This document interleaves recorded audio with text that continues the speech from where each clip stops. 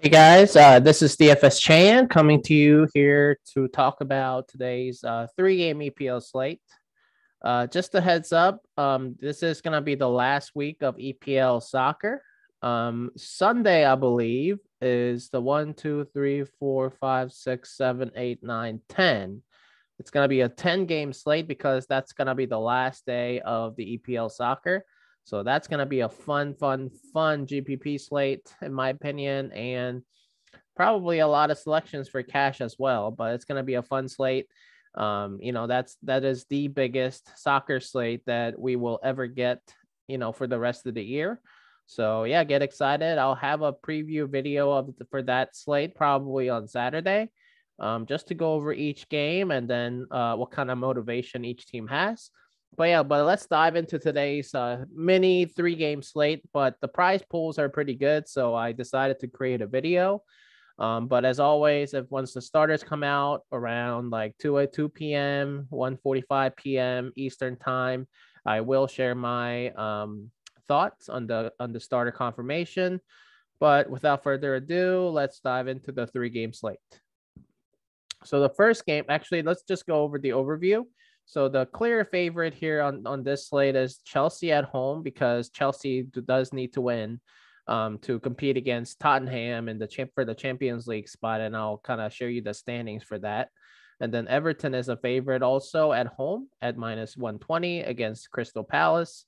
And then Aston Villa and Burnley are it's more of a toss up, um, but Aston Villa has has you know has a pretty high upside in my opinion to uh, score a lot of goals, but then Burnley also has to kind of win uh, to stay out of the relegation zone. So yeah, let's dive in.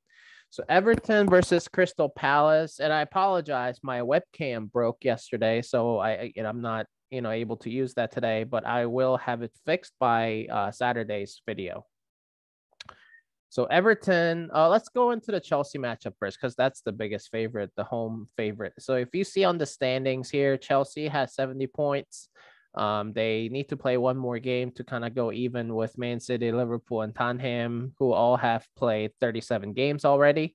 So Chelsea really needs to win this. If they tie, I mean, they'll be at 71 points, um, but it's not quite safe, in my opinion. Like if they lose today, um, and then if Tottenham wins next game, and then Chelsea ties or loses next game, Tottenham could overtake the third spot on the standings. So top three finish is pretty good. Um, top four finish is pretty good actually, and top three finish is really good. So I think that's gonna be the motivation for Chelsea to try hard. But then Leicester has been on the up uptick, um, really, um, the, winning the last two games. Um, Chelsea has been up and down as you see, win, draw, loss, draw, win. Um, so yeah, it's gonna be a good game, I think. And and I think James, I fully expect James Maddison to start for Leicester City, which hugely increases Leicester City's chances to win, um, to compete against Chelsea. But Chelsea will bring, like I said, full squad, full throttle today, full efforts, I think. Um, and it all starts with Mason Mount and then their fullbacks.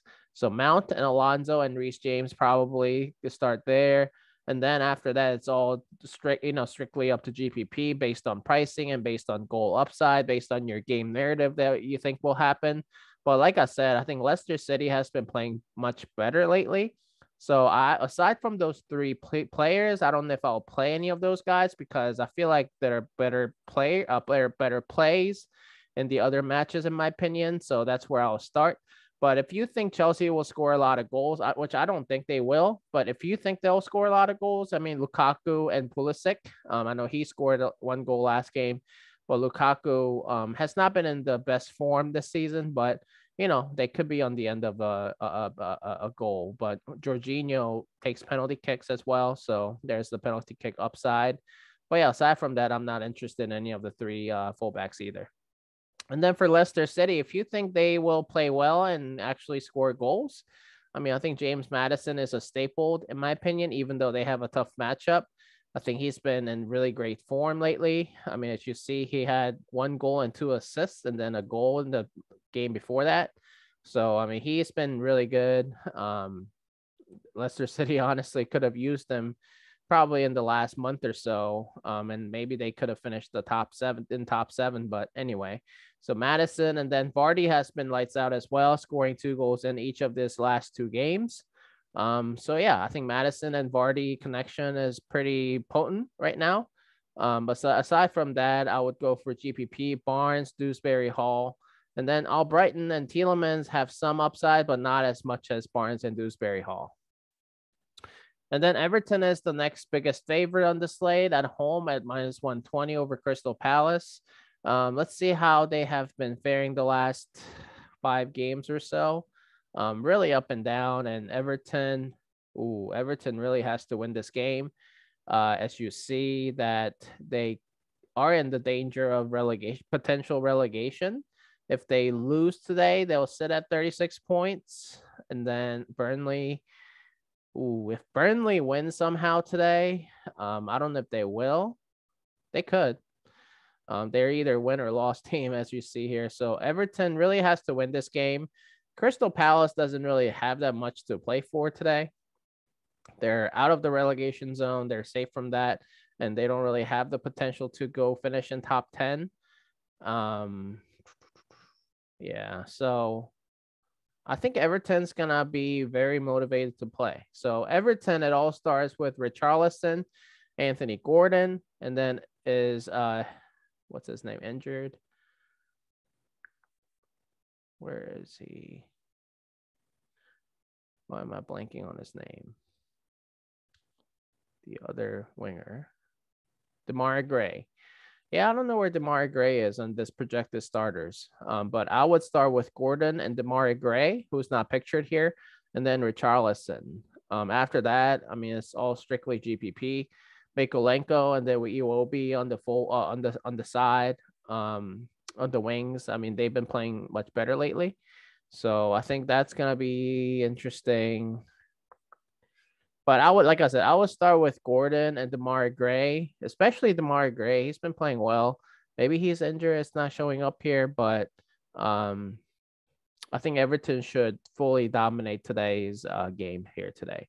And then for GPP, yeah, I mean, like I said, um, for Crystal Palace, if you think they'll play much better this time around for whatever reason, um, Zaha and Gallagher uh, would be the picks in my opinion. And then the last game, which is gonna be probably a snooze fest. Uh, I think Burnley is gonna shore up on defense. Um, they're gonna really try to try their best to win this game against Aston Villa to come out of the relegation zone. Um, if they get 37 points and 35 points, I mean that will tie them up with Leeds. Um, so really, Burnley really, really does need this game badly. So Burnley will give their best. Let's see who they lost to the last couple games. Tottenham, good team. Um, Aston Villa. Excuse me. Are they playing again? Yeah. And you see Aston Villa beat Burnley away on the road by a lot.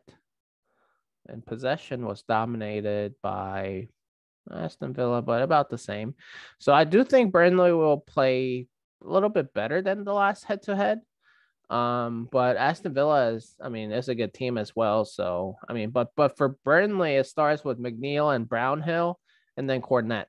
Cornet has been up and down, but he has the potential to break the slate, in my opinion.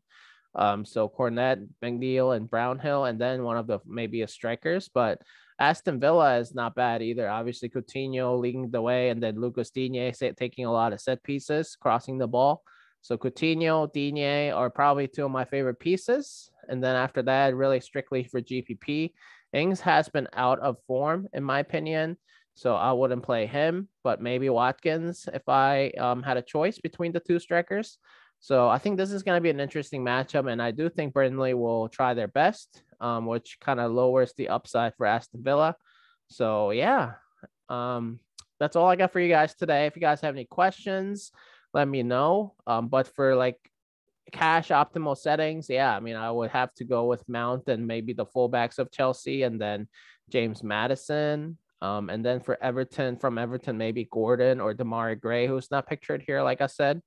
Um, and after that, I mean, I don't know if I'll have any pieces from Aston Villa, maybe Digne, maybe Coutinho, and then for Burnley, maybe the cheap fullbacks there. But anyway, so yeah, that's kind of kind of like what I'm thinking. If you guys have any questions, let, let me know. I can be reached on Twitter, um, YouTube, or disc or, or Discord. Um, yeah, let me know if you have any questions. And good luck, everybody. Like I said, I will share uh, my thoughts on the starters um, before the game. So anyway, thanks everybody.